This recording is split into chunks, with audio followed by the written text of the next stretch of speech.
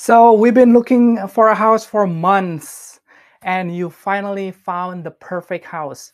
Great location, great school, great neighborhood, great everything. Check all of your boxes and you love it. With 10 other people that love the house too. So we're gonna have a multiple offer situation. So today I'm gonna talk about escalation clause. Like what is it? Escalation, is it the same like escalator? Um, so if you want to know more about it, don't go anywhere.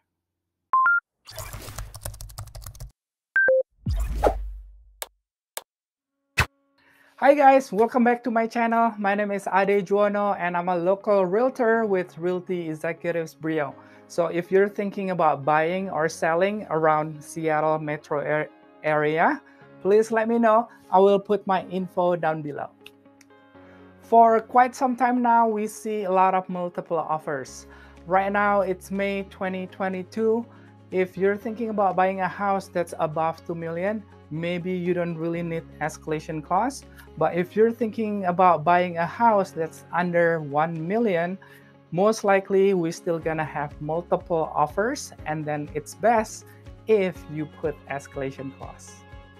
So like this one, uh, it's our new listing about two weeks ago, we had seven offers and one offer without escalation clause.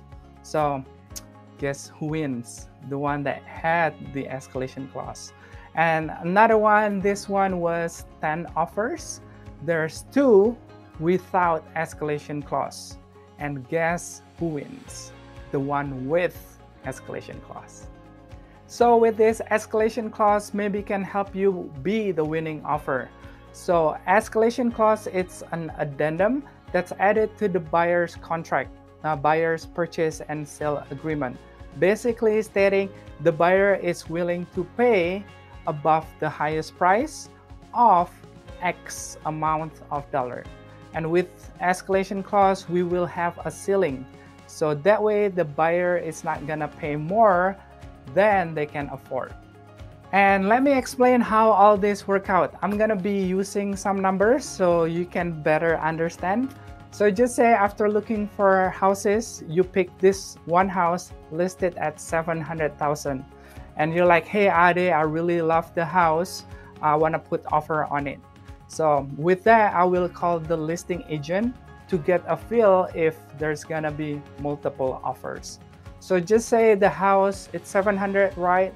And the listing agent was like, hey, the house is really popular. We're really expecting multiple offers.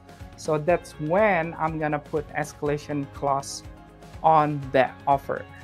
And the house was 700, right? So with 700, just say you're willing to go up to 750.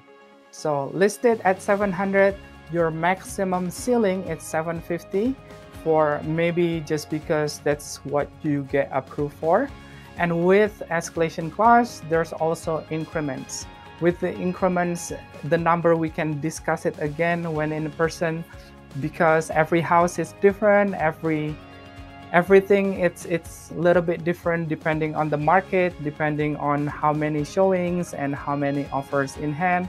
All that little detail I will find out for you that way you can decide on what's the increments, what's really the highest number that you want to go or you can go. And keep in mind, escalation clause, it's one of the contract that can help you win the house. There's other contract, but that's gonna be for another video. So all in all, escalation clause, it's an addendum that's added to your contract to make your offer appear stronger and give you a better chance of winning when there is multiple offer situation right? But that's it for today.